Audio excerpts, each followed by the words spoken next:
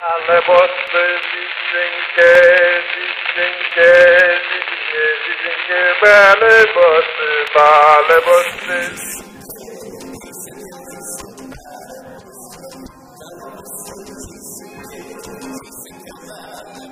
It makes you feel like I'm at home. Hey, how are you, man? It's good to see you too. It's been a long time. We're so glad they brought us out here. We're back. What, what, what, what else is playing tonight? Slammy. Daniel Kahn. Love Daniel Kahn. Oh, that's the guy. Paul Rooney. Normal men, you could say, go and play golf, or go hunting, or go to Las Vegas. Uh, we come to the Krakow Jewish Music Festival. Yeah.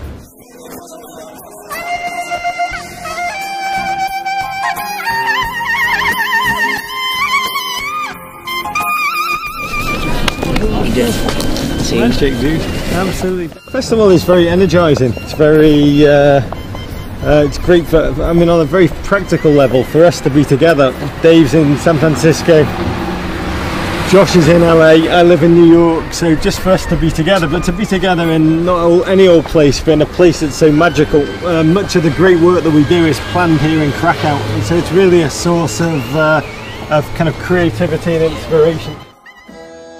The thing that struck me the most when I first came here was not the Jewish quality of it. It was the fact that this was the very first time in my life that I was at something that was expressly Jewish in content that was, for the most part, not for Jews.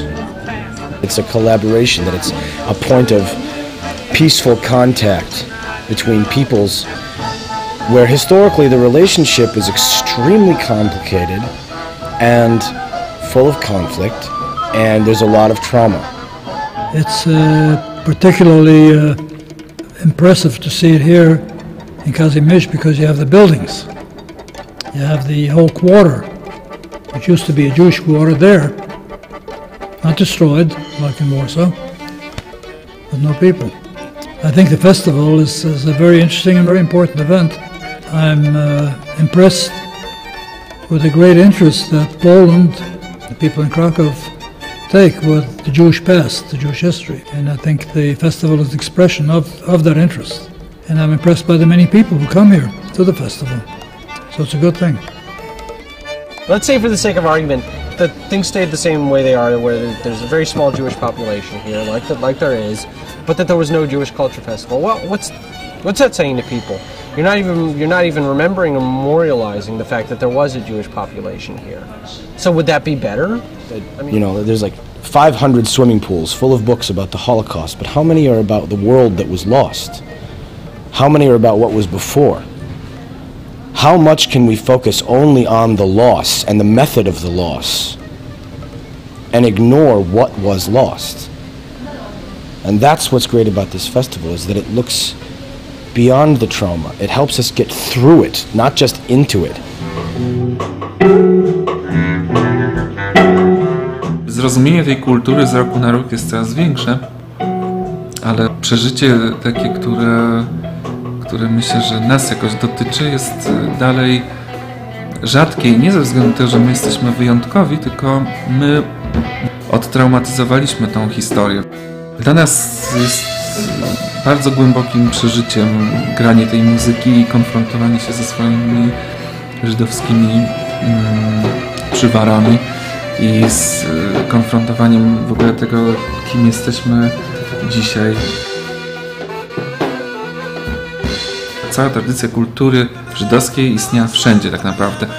Możesz nas zaobserwować y, takie porozumienie właśnie tych, tych kultur i dla mnie jest to dowód na to, że po prostu granice w kulturze nie, kompletnie nie istnieją. a lot of the artists that you have here are not just Jews from Europe or Jews from America. They're from all over the world. And you know, some of them aren't Jewish, but they're, they're people who are fascinated by Jewish culture, and that's great.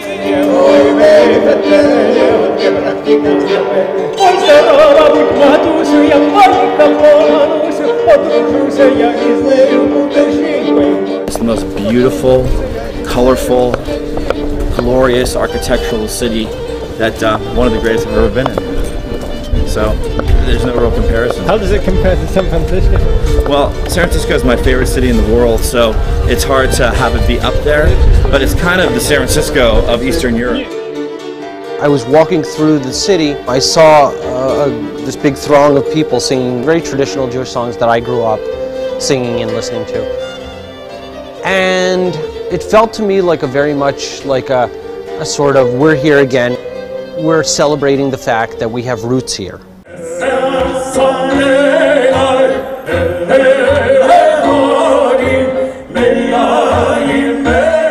Shlomo Carlebach's music, he was incredibly gifted at taking some elements of American popular culture and at the same time creating music that felt completely authentic and real in the in the traditional Jewish Hasidic uh, s- songwriting nig- nig- nigun um, tradition. His music's amazing. I love his music, and it was a big influence on me as a, a teenager, and I think for a lot of um, young uh, young uh, Jewish kids, uh, his music is inspiring for this reason.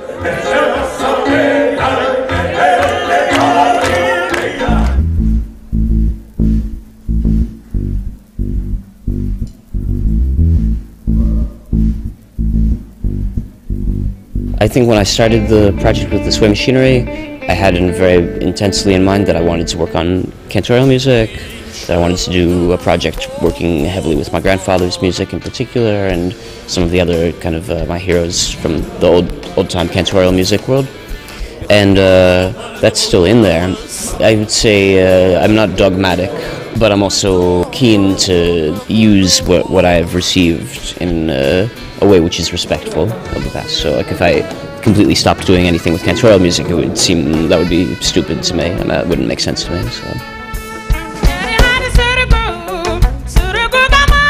I'm very, very happy that we're bringing Pyra here. I think it kind of shows the wisdom of the festival in being able to embrace a very wide concept of what uh, contemporary Jewish culture means, and uh, that's kind of in line with the way I think about it. Also, bring in more from the outside to make w- the i- inner circle stronger.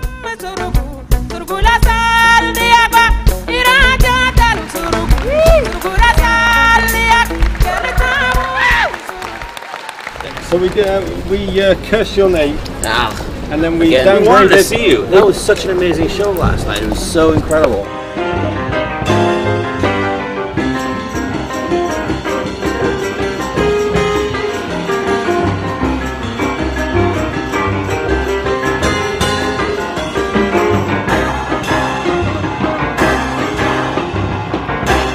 Part of what you're seeing is, is rescued history. We've collected them over the past um, 10 years, record by record. We go to flea markets, we go to, um, we buy a lot online off eBay, but now the label is well known in America. People send them to us. Um, and for us, what's been interesting is what happens when we put all of these individual pieces that on their own have their own individual stories, but then put them together, and you have an entire kind of alternative history of Jewish life that, in some cases, contradicts or um, kind of colors outside of the lines of the dominant stories that we all grew up hearing.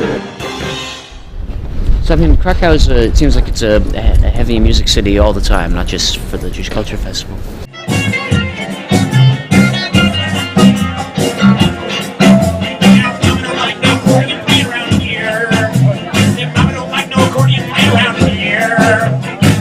I mean, I don't necessarily like the, the jam session uh, uh, as a concept is not usually my thing. I mean, I'm more like I compose music and stuff, but but it's such a special group of uh, musicians that it's very very cool. All the fellow going around saying, "You, you, you, Yeah, go out there." Right. You never know when somebody's gonna climb out of the audience with a saxophone and just start playing random. There's just this wonderful little circus of like you know like some you know, punk rock rockers and klezmer musicians and Hasidic guys all dancing together. Yeah. And it's just like this is um, who we are, but rarely do you see it manifest in, in this kind of way. This is very much like a dream. It's like a, this kind of fantasy, like oh, if we never left Europe, how rich our culture would be. You know, and uh, so in some ways we're a bit hobbled because we did we had to leave leave here, but coming back it's like feels very very very nice, very nice.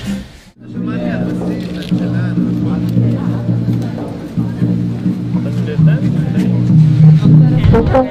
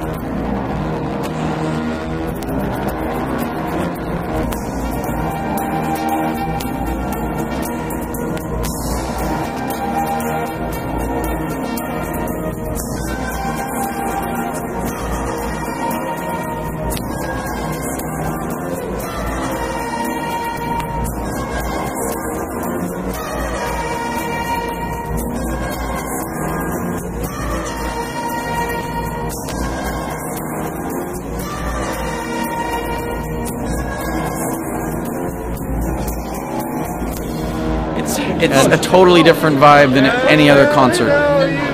Seriously, and we don't say that everywhere. This is a amazing place. We've talked about it before.